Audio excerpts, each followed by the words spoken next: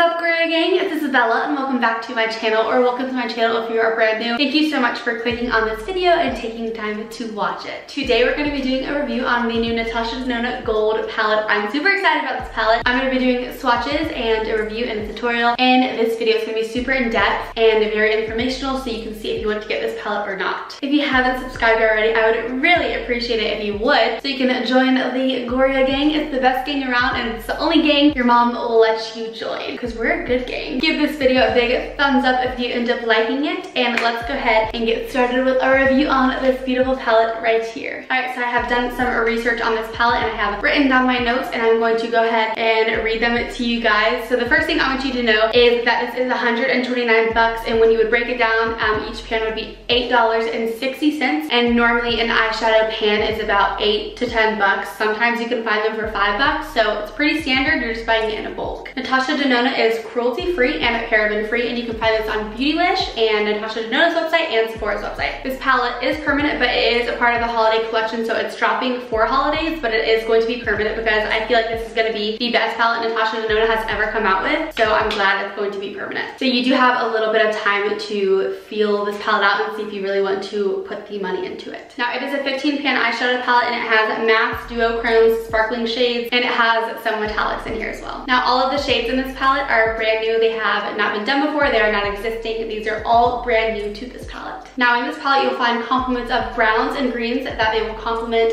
the golds and the blues. So you definitely do have a variety of colors starting at a neutral eye look and you can definitely amp it up for a more intense nighttime eye look. And last but not least, each eyeshadow pan is 0.08 ounces. I'm trying not to blind you guys here, but here is what the packaging looks like. It is gold and it has the leather feeling as the Natasha Denona Sunset and Lila palette. So it's super nice and super sturdy. Now you do get fingerprints on it, so if that bothers you, then I just wanted to let you guys know that. So you have the standard of big mirror and the little slip right here that has the names on it and for protection of traveling. And then you will see that you have your three rows of eyeshadows, including metallics, duochromes, sparkling chroma crystal tops, and mattes. All right, so I am gonna go ahead and insert swatches. I'm gonna start with the name, the finish, and then I'm gonna describe the color for you guys. Starting with that first color on the top row, we have lime chrome, and it is a yellow green metallic. Next to that, we have python, which is a light medium green creamy powder. Next to that, we have the color sparks. It's a pearl glitter, and it's also one of our chroma crystal top coats. Next up, we have Aria, which is a coral matte.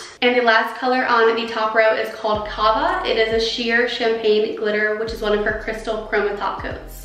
Starting with the second row, we have Aura, which is a blue emerald glitter. Beside that, we have Dijon, which is a mustard matte. Next, we have Oro, which is a metallic gold. Beside that, we have Log, which is a deep brown matte. And the last color on the second row is Varus, which is a metallic bronze. And starting with the third row, we have Brass, which is a bronze gold green duochrome. Besides that, we have a nice transition color called Sandstone. It is a light terracotta matte. Next up, we have Alchemist, which is a metallic rose gold. Beside that, we have Teak, which is a terracotta matte. And the last color on the third row is called Aurum, and it is a dusty gold metallic. Honestly, those are probably the best swatches I have ever experienced. None of the colors swatched patchy and they all felt super nice. This one down here and the chroma crystal ones feel like someone just dumped water on them. Like they're super cold and like kind of like, like wet and moist. I know people hate that, don't come at me, but that's truly how they feel. They swatched so amazingly and I'm so excited to play with this palette. So let's do a tutorial. So I'm not sure exactly what I wanna do, but I saw on Sephora or was it Natasha Denona's Instagram, actually like screenshotted it so I could see, but it was so pretty and I want to create something like this. First things first, I'm just gonna go ahead and prime my eyelids with some of the Too Faced Born This Way concealer that I use.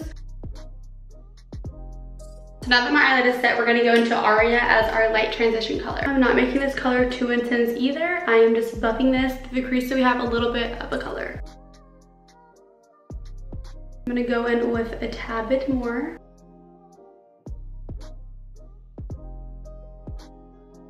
After that transition color, it looked like she went straight in with a like champagne color and then she went with the gold and then she went with the blue on the outer edge. I think I want to build this a little bit more so I'm just taking the same Aria color and making my transition the slightest bit more defined.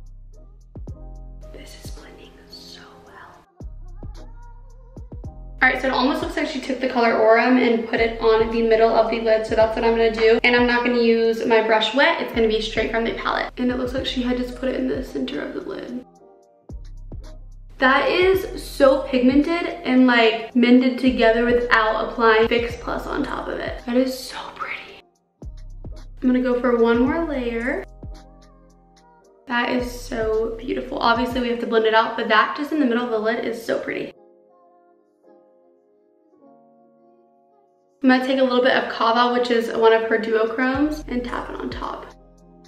Holy crap. Kava almost feels like silky, like a oil when you tap into it. So in the inner corner, she applied Oro, and I'm gonna do that as well. And she really made it like, oh my gosh, wait, that's so much. She literally made it like flare out to like the inner part meeting the other color. I've never put a bright yellow in my inner corner, so I'm kind of scared, but we're gonna do this. I'm gonna start like right here.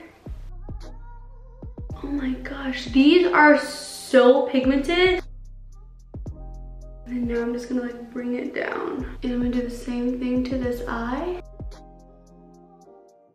And then it looks like on the outer edge out here, she took the color Python. I think she just used this color to smoke it out up here, so that's what I'm gonna do. Holy crap, that's pigmented.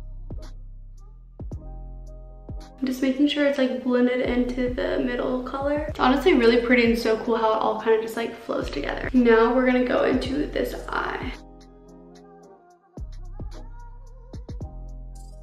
I'm going back in with the transition color Aria and just kind of fixing up that transition out here. So I know it's not exactly perfect, but I feel like I just kind of got the gist and the color scheme of it. So now we're gonna do the lower lash line. It looks like on the lower lash line, she didn't have much on it, but the transition color. So I'm gonna go ahead and apply that. And then I'm carrying a little of the blue that I put out here and connecting it a little. The blue color that I'm using, Python, is definitely a very cream to powder formula. And the more you apply, the better it looks. So she also brought down that yellow that's in the inner corner called Oro and took it down to the lower lash line. Probably one of the best eyeshadow formulas I think I've ever used. 100% real. So here is how the eye look is looking right now. I think it's really pretty and it's something that I think I would never like think of to do because I would never put like a darker color out here in two different colors in here on the lid. So I'm gonna go put some lashes on and apply some mascara and I will be back with my final thoughts. I think this is my favorite Natasha Denona palette that's come out yet. I love her Sunset palette so much. Like you can tell I have used up this palette so much, but honestly, I'm thinking I like this more. This is probably gonna be like my everyday go-to palette as well because it has my neutrals. Golds are my favorite thing to put on my eye besides purples. And when you look at the palette, yes, you have some fun colors over here. You have this really cool lime color up here and this cool color down here. But when you kind of take a step back and you look at row by row and then you do the half and half thing, this is your neutral palette right here. It has your transition colors, your warm tones, your cool tones, and your golds. And then you have colors over here to give a different type of look. Kind of like I did, I used both sides today. So I was able to use some neutrals on the eye and then spice it up at the edge with the blue. I do feel like this is something that you need in your collection. I can't tell you if it is worth the price for you. To me, this is my go-to palette. For me, this is 100% worth it. I will be using this so much. Definitely let me know down below what you think of this palette, what you think of the eye look that I created. I really do love it. And if you're gonna be getting this palette or skipping on it. I'm hoping I will see you guys in my very next video. Don't forget to subscribe so you can be part of the Goria Gang and follow my social medias that are listed up here above. And I will see you guys in my very next video. Bye guys.